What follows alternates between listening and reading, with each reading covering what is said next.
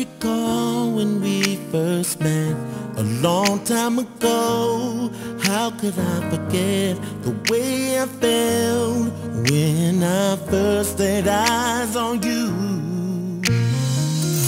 I remember saying to my friends, there is my future wife and then I took the step to meet someone who would change my life